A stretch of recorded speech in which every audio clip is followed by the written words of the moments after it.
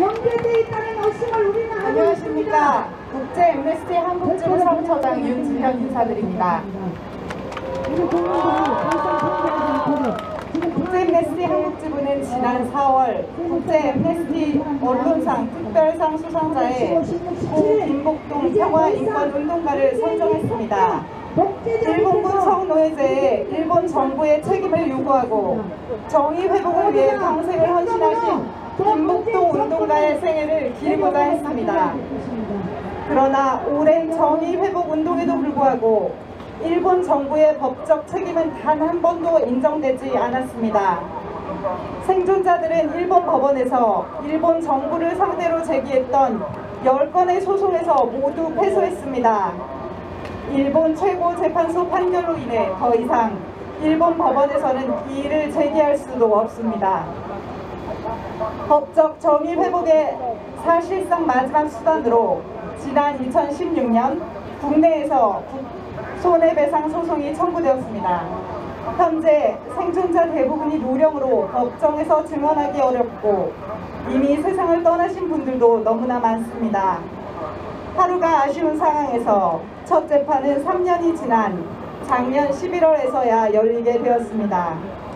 그러나 일본은 모든 국가들의 주권이 서로 평등하기 때문에 국내 법원에서 외국 정부가 재판을 받을 수 없다는 국제법상의 개념인 주권 면제를 이유로 단 한 번도 법정에 출석하지 않았습니다.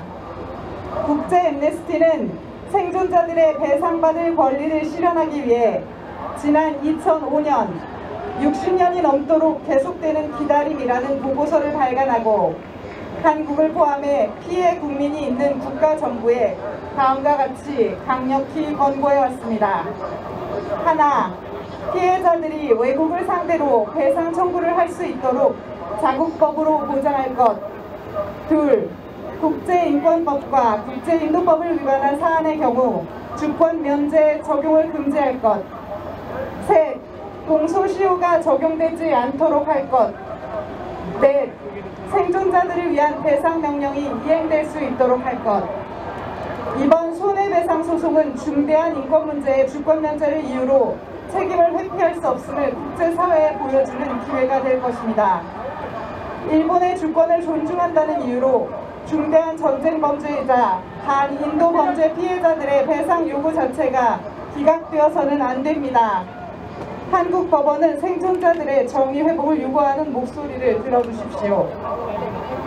30년이라는 오랜 기간 동안 정의 회복을 위한 싸움을 이어올 수 있었던 이유는 당사자들이 용기 있고 끈질기게 목소리를 내어주었기 때문입니다. 또한 이들의 목소리에 귀 기울이고 함께 일본 정부의 책임을 요구한 전 세계의 시민들이 있었기 때문입니다.